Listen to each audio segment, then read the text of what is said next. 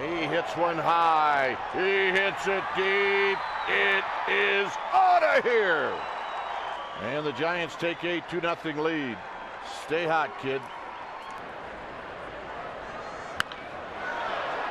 Line to right. And Maxwell is going to make a leaping catch. Wow.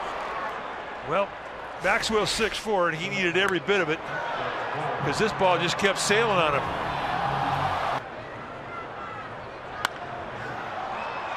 This has got a chance to fall. Maxwell's going to dive, and he makes the catch. He eats up a lot of ground with those long strides, and he had to, and that saves the day for the Giants.